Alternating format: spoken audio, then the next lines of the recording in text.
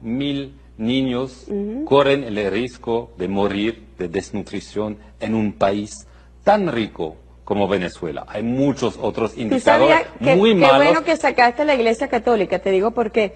Porque durante los cinco meses de violencia que tuvimos en Venezuela, las personas que protagonizaron y estuvieron en la violencia, primero iban a las iglesias y los curas le daban la bendición y le decían vayan a la violencia. Entonces estos son mentiras. Entonces te voy a decir lo siguiente, en. Venezuela 8 millones de niños reciben todos los días en sus centros educativos, reciben el desayuno, reciben el almuerzo y reciben la Entonces merienda. son mentiras. Yo te estoy diciendo que es mentira. Te Es mentira, es muy grave de Y te vuelvo a negar que en Venezuela hay una situación humanitaria. ¿Por qué situación no? humanitaria tienen ustedes en el Mediterráneo. Venezuela no tiene una situación Pero ¿por humanitaria. qué no aceptar ayuda humanitaria de las Mira, Naciones eh, Unidas? no, Se porque no hay una situación humanitaria, por ejemplo. Estamos desplegados en los clubs casa por casa este fin de semana, los gobernadores, los alcaldes y nosotros chequeando que desde el mismo centro de empaquetado se realicen las bolsas de comida que serán distribuidas por los clubs.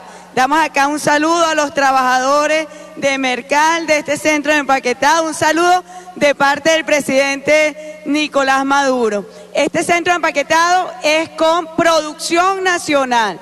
Todos los productos de las bolsas que aquí se empaquetan son de productos nacionales a través del programa de entrega de materia prima que hace el CUSPAL a la agroindustria y que luego son entregados para la conformación de las bolsas CLAP. Bueno, este centro de empaquetado produce mensualmente 542 bolsas. Es realmente un gran mérito de toda la producción pueda ser ya debidamente distribuida, en este caso en el municipio Libertador. Mensualmente se atienden con este programa social creado por el presidente Nicolás Maduro 6 millones de familias de nuestra patria. Esta es la Venezuela en positivo, esta es la Venezuela potencia. El mango, viejo. Ya estoy cansado de mango. Pero ¿y los, y los clubs? ¿Qué ¿Cuál es plan? Que no existe ningún plan, esto es pura falsedad. Aquí no ha llegado nada. Esto es pura mentira. Aquí Pe- no nos ha llegado nada de comida, ninguna bolsa, no han dado la revolución.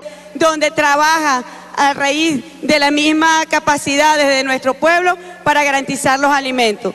No la mendicidad a la que la derecha extremista venezolana quiere exponer mundialmente a Venezuela para justificar una intervención internacional con una falsa, un simulacro de ayuda internacional. Pero usted- ¿Hasta cuándo vas a seguir ma- manteniendo siempre un mango maduro? No joda. Esto con tu madre, estoy cansado de comer tanto mango. No joda. ¿Hasta cuándo? Mi familia está pasando hambre. No joda, no puedo seguir comiendo tanto mango. No joda. Ya está bueno ya. No. No necesitamos ayuda humanitaria internacional desde las grandes potencialidades que existen en nuestro país. Acepta la ayuda humanitaria que los pobres, por tu culpa y tu desgracia, estamos pasando hambre. Venimos de anunciar de un nuevo sistema para la entrega de los CLAP a través de la lectura del BQR que será registrada en el sistema Patria. Esta semana, toda la vicepresidencia económica, encabezada por el vicepresidente de Economía, Tarek El Aizami, se desplegaron por toda Venezuela instalando